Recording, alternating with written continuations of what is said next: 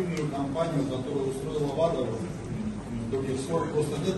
Дагестанским атлетам удалось существенно увеличить свои достижения. У нас в копилке э, золотые медали, это лучше, чем прошлую Олимпиаду. Как вы оцениваете выступление наших атлетов, э, которые внесло значительный вклад в копилку российской сборной?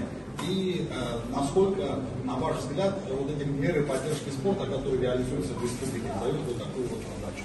Спасибо.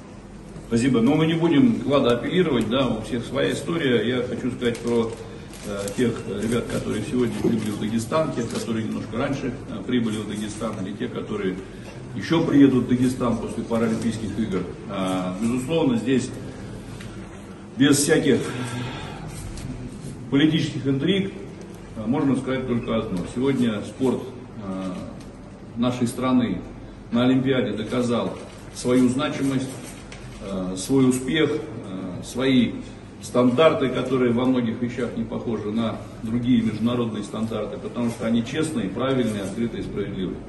А наши ребята, дагестанцы, еще раз доказали, что Дагестан и спорт – это единое направление, в котором воспитываются и патриотические чувства, и сила, и воля, и характер, и стремление принести победы и своей стране, и своей республике. Поэтому я хочу всех ребят поблагодарить за успехи, потому что они просто безусловные. Всем хочу на самом деле сказать, что мы смотрели Олимпиаду э, в этом году, мы уже говорили об этом, почему-то не так, как раньше.